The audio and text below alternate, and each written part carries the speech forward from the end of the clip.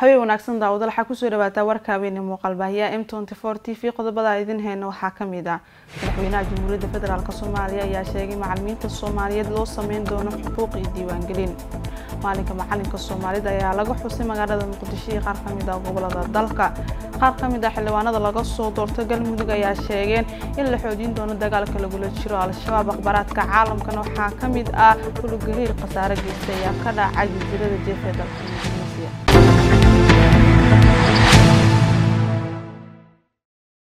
mar kale habeen wanaagsan daawadaal kuwaasina waxay ahaayeen qaar ka mid ah qodobada warkeyga habeenimo ugu waaweyn iminkana ayagoo faahfaahsan aan ku bilaabe. Madaxweynaha jamhuuriyadda federaalk soomaaliya ayaa sheegay in macalimiinta soomaaliyeed loo sameyn doono xaquuq iyo diiwaangelin horeene axmed maxamed ibraahim ayaa warkan fiirinaya.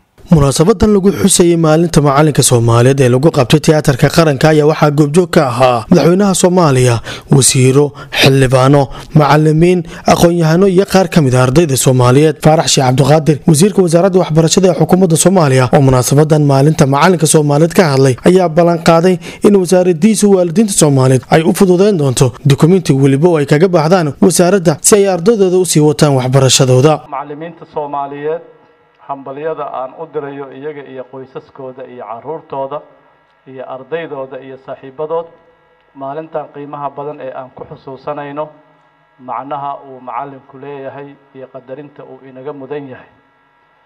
Markii ilaahay qofka bini aadanka uu abuuray ilaahay subxaanahu wa tacaala wuxuu sheegay wallahu akhrajakum min butuuni ummahaatikum laa taclamuuna shay-a wajacala lakum asamca walabsaara walaf-idata qaliila maa tashkuruun ilaahay wuxuu idinka soo bixiyey caloosha hooyadiin idinka oo aanan waxba aqoonin marka laga bilaabo hooyadiina dhashay waalidkiina dhalay gurigiina dhalay macalimiinteenii iyo bii-ada aan ku noolayn intaba waxbayna barayeen ummaduhuna waxay u kala hormaraan sida ay wax u kala bartaan wax kale ay u kala hormaraan ma laha.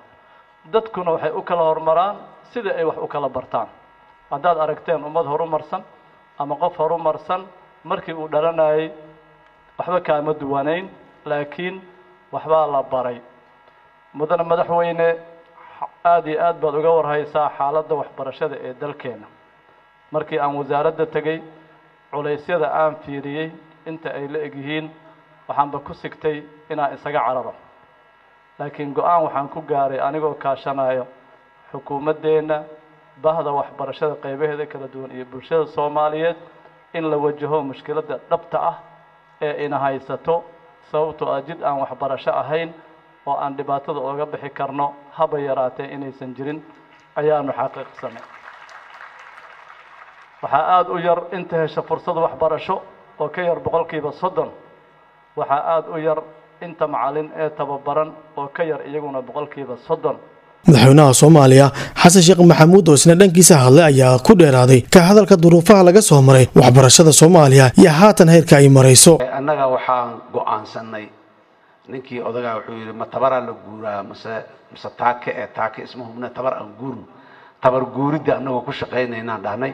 Ardada ugu badan ee suurtagalka waqtigaan iskuulka lagu soo celi karaa lagu soo celiyo ko macalimiinta inta ugu badan ee la tababari karo lana shaqaalay karana hala tababaro hana la shaqeeyo. Sidaas daraaddeed budgetka sanadkan cusub ee soo socda dowladdu ay dhisatay lacagtiisa kor ayaa wasaaradda tacliinta budgetkeeda koraa loo qaaday. Waxaa loogu qaadayna shaqaalo rayida iyo magaciisii in lagu qoro maahana macalin in lagu qoraa loogu qaaday macalin muddo usbuuc laba usbuuc gudahooda shanta dowlad goboleed iyo gobolka banaadirba waxaa ka furmi doona tababar macalin macalimiin cusub oo la tababarayo ama kuwii hore shaqada ugu jira oo dib loo tababarayo. Saddex kun oo macalin in la tababaraan rabnaa. Shaqaalaha dowladda wixii tababar macalinnimo qabo ee meelo kale ka shaqeeyana in ay wasaaradda tacliinta dib loogu soo celiyo shaqaale wasaaradda tacliinta ay macalimiin inay noqdaan weliba khaasatan iyo maamulayaal iyo yaan rabnaa si macalinka tirada macalimiinta ee dalka ka jirta ay kor ugu kacdo. Macalimiintaasi waxaan rabnaa iskuulaadka dowladda public schools inay dhigto. Iskuulaadka dowladda sanadkan waxaan talada nimiday ayada oo waa free la leeyahay oo aan lacag ma aha. Laakiin haddana waalidka lacag laga qaado. Shahaado uu rabaa lacag ka qaad bedel uu rabaa lacag ka qaad. Maxaan ku ihahdaa ischool isuu tagay registration lacag ka qaad. Toban laba lacagood oo marka laysku dardaro waalidka qaarkiis culays sideedabana iskuulka dowladda ee publica waxaa loo furay qoyska danyarta. Macalimiinta soomaaliyeed ayaa wajahaya duruufo adag kaawo ay ugu horeeyaan mushaar la'aan daryeel xumo iyo weliba amni daro. Maalinka macalinka soomaaliyeed ayaa laga xusay magaalada muqdisho iyo qaar ka mid ah gobollada dalka. Wariyeyna cumar buule ayaa warka inooga diyaariyay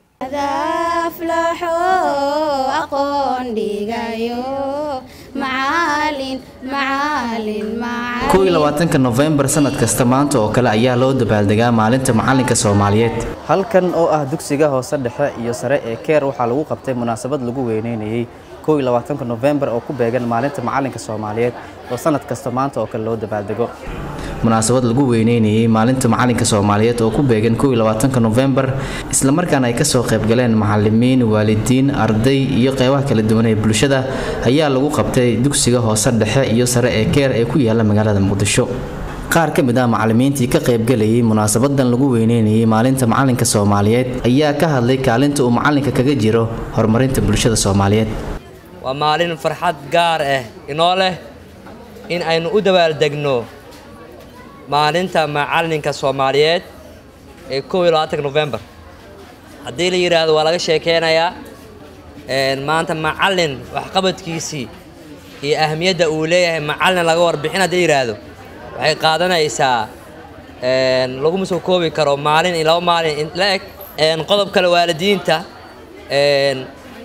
ubadkoodii noo aaminay inagu aaminay soo diray halkaan yimid si ubadkooda wax loo baro.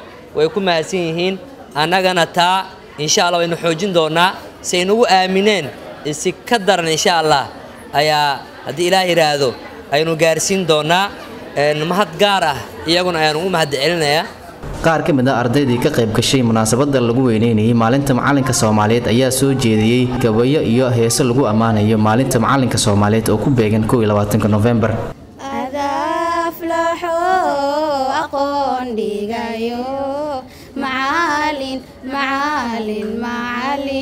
intii u mudnay.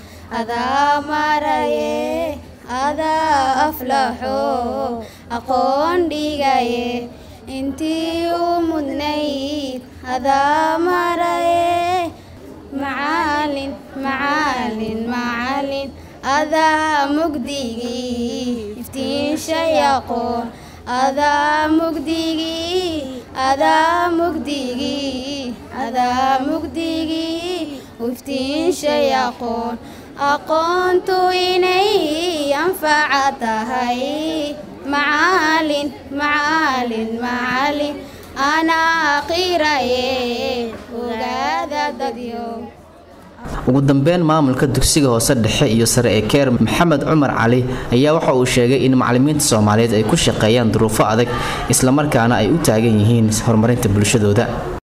Waxaa kaloo lagaa rabaa nebigeena moxamed salawaatullaahi calayhi wasalaam asigana ha hilmaamin weligaa diintan quruxda badan iyo wejiyadan quruxda badan. Inaa anagoo muslimiin ah meesha maanta aan wada fadhinno ilaahay ka sokow nebi moxamed salawaatullahi calayhi wasalaam aa sabab u ahaa. Waalidkaagana ha hilmaamin. Maanta hadduusan waalidku dhan lahayn adna heerkaa maadan imaan lahayn. Macalinkaagana ha hilmaamin. Weligaa allaha awaalkiisna ha hilmaamin. Sababtoo ah heerka maanta aad taagan tahay waxaa u sabab ah alla ka sokow cilmi ay aqoontaan asigaa u sababa marka macalinka meel lagu hilmaami karo ma lahan. Marka waxaa idin leeyahay macallimiinta ahmiyad gaar hanoo yeeshaan. Waqti badanna macallimiinta hal ixtiraamo dadaal badanna hala geliya sidii lagu ixtiraami lahaa. Idinkana sidaad macallimiin u noqon lahaydeen ku dadaala insha allah sanad kasta kow iyo labaatanka nofembar ayaa loo dabaaldegaa maalinta macalinka soomaaliyeed oo ku beegan maanta oo kale. Munaasabado kala duwan oo lagu weyneynayo maalinta macalinka soomaaliyeed ayaana ka dhacaya meelo kala duwan oo ka mid ah dalka cumar buule m t v magaalada muqdisho. Qaar ka mid ah xildhibaanada laga soo doortay galmudug ayaa sheegeen in la xoojin doono dagaalka lagula jiro al-shabaab.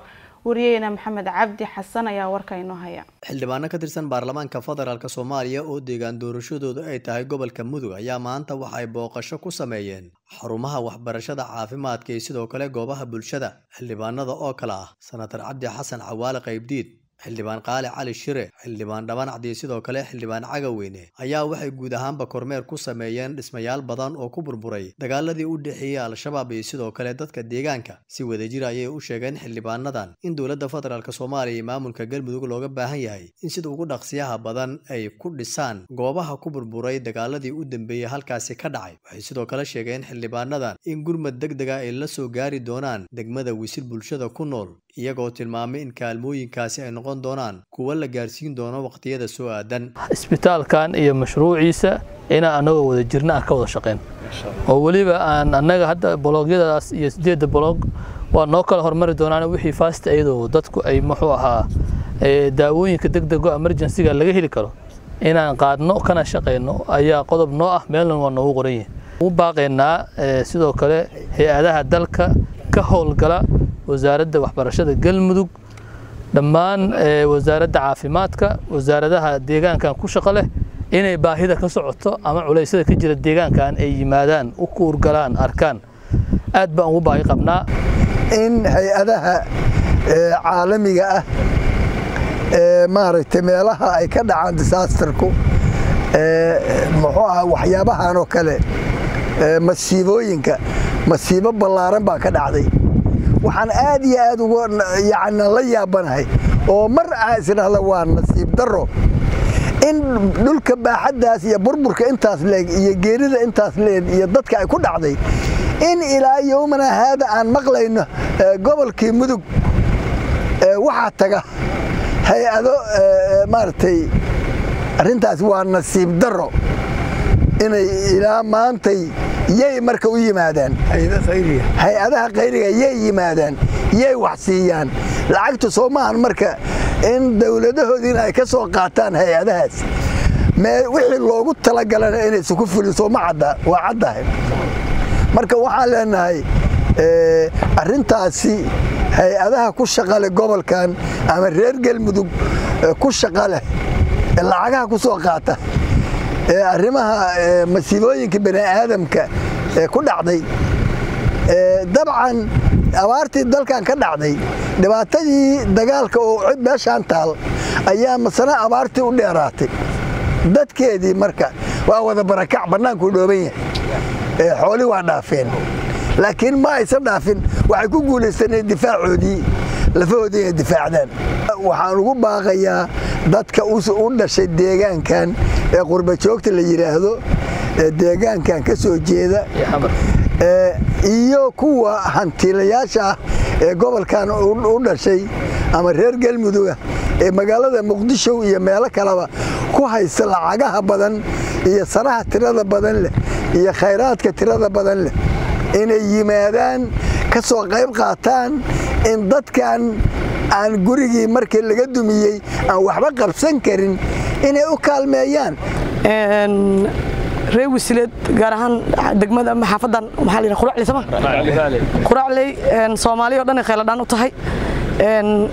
Waxaan dhihi karnaa dowladda galmudug iyo dowladda soomaaliyaba waxaa codsi uga nahay in meeshan waxa ka jira oo dadka weli ay ka maqan yihiin oo dhibaatadan ay ka jirto boqol iyo soddon qoys oo soomaali ah. Aanu ku eedaynayno dowladda galmudug inaysan weli aysan wax baaqa ka bixin. Oo wufuud ka socota halkaan ma imaanin soo ma?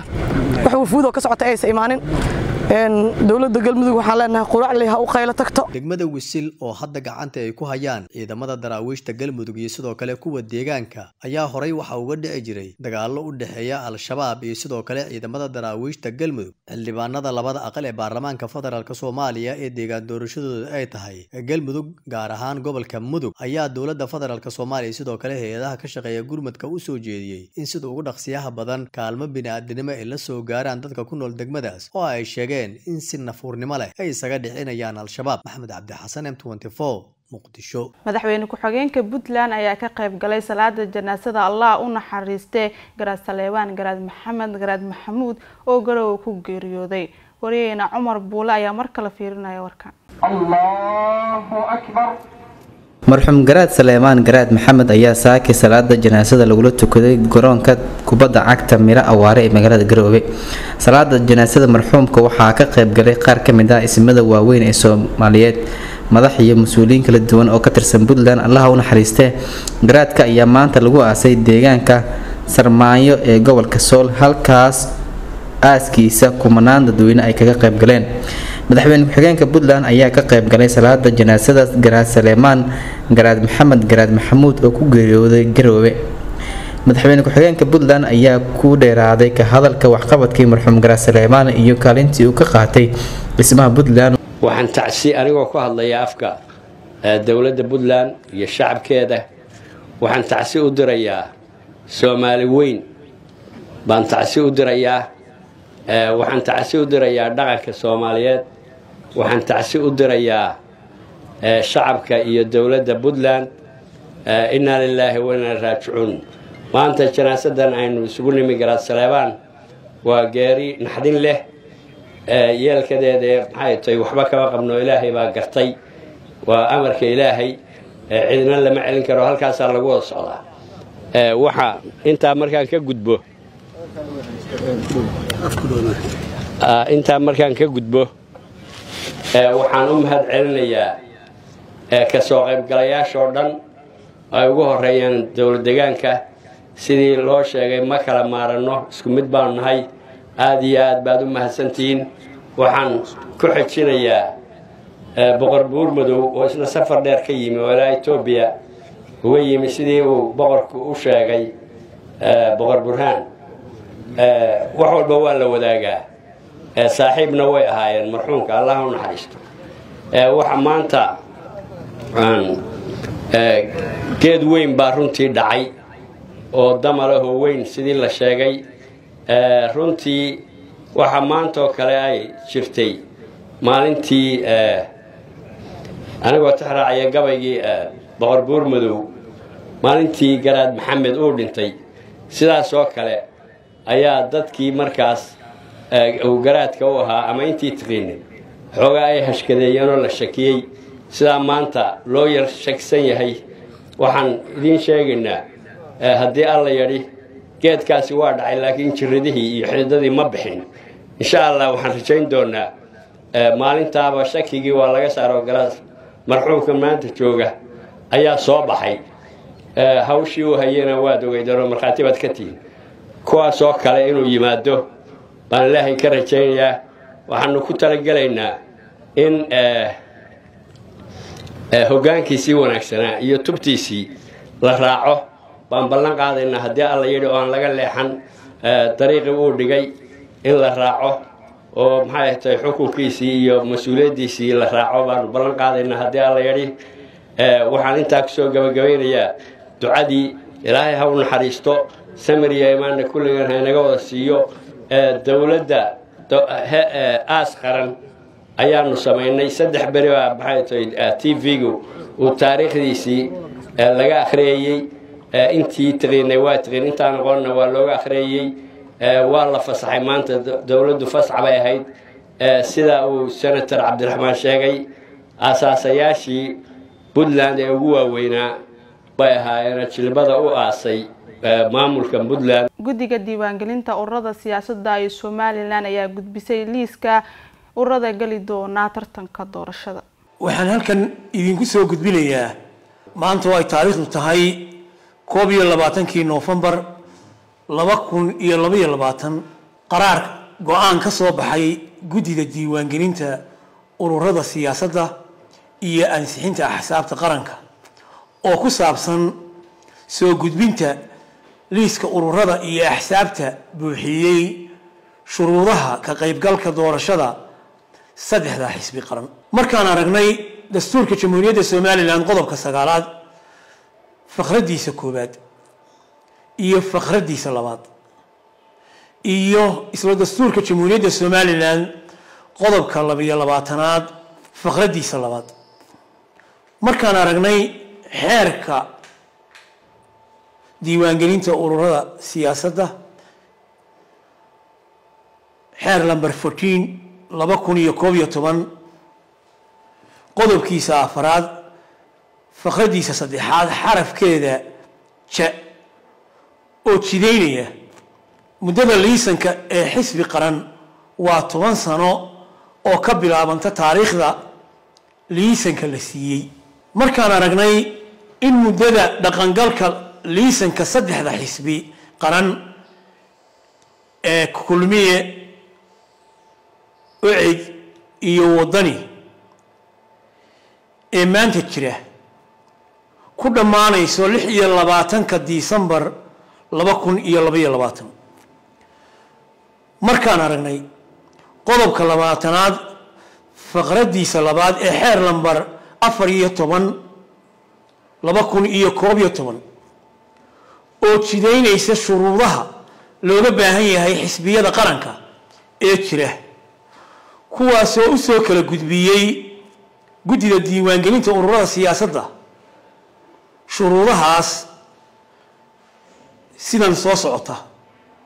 Ucid oo soo gudbisay toddobiyo tobankii sebtembar laba kun iyo labaiyo labaatan. Kulmiye oo soo gudbiyey siddeed iyo tobankii sebtembar laba kun iyo labaiyo labaatan iyo waddani oo soo gudbiyey sagaal iyo tobankii sebtembar laba kun iyo labaiyo labaatan. Markaan aragnay natiijada ka soo baxday diiwaangelintii ururada siyaasadda ee ku xusan go'aanka guddiga.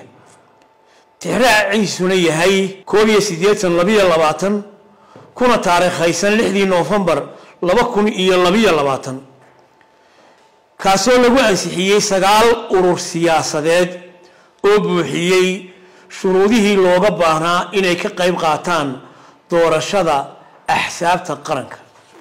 Markaan aragnay xukunka maxkamadda sare ee jamhuuriyadda somalilan ee tixraaciisu yahay ms hal hal hal shan laba kun iyo labaiyo labaatan kuna taariikhaysan toddobiyo tobanka bisha koob iyo tobnaad laba kun iyo labaiyo labaatan. Kaasoo maxkamaddu ku amartay guddiga diiwaangelinta in urur siyaasadeedka tala wadaag ku daraan liiska ururada gudbay ee loo gudbinayo komishanka doorashooyinka qaranka. Annagoo tixgelinayna waajibaadka xilka iyo awoodaha uu guddiga siiyey xeerka nidaamka ururada iyo ansixinta axsaabta qaranku xeer lambar afar iyo toban laba kun iyo koob iyo toban.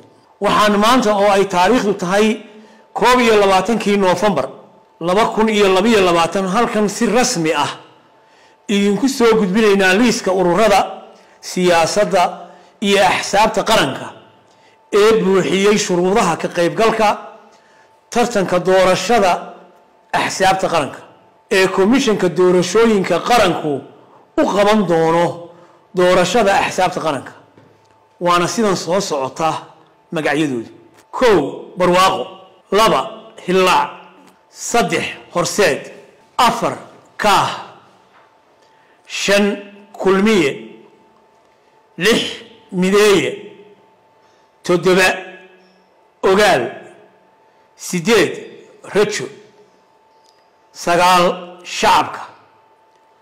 Toban talo wadaag koob iyo toban ucid labiyo toban waa beri. Iyo saddex iyo toban waddani. Waxaa halkan ku lifaaqan go'aamadii guddiga diiwaangelinta iyo go'aankii maxkamadda sare.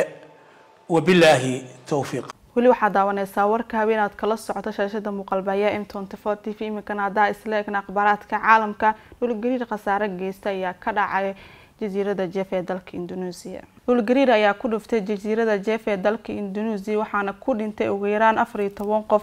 Boqolaal kalena way ku dhaawacmeen sida ay sheegtay saraakiisha dalkaasi. Dhulgariirkan oo cabirkiisu ahaa shan dhibic lix ayaa ku dhuftay ee galbeedka jeef waxaana dhulgariirkaasi uu gaaraya toban kilomitir oo lix meel ah. Sida lagu sheegay xogta la shaaciyey dhulgariirka ayaa laga dareemayaa magaalada caasimada ee jakarta oo qiyaastii boqol kilomitir u jirta halkaasi oo dadkii ku sugnaa dhismayaal dhaadheer laga saaray. Qodobkaasi ayaana u dambeeyay warkayga habeen aad kala socoto shaashada muuqaalbaahyaha m four t v intaa ku kulmi doona wararkeena xiga anigii saaxiibada kaloo warkaygala qaybgalo idin leh. Sida ay nabadgelya saaxiibaya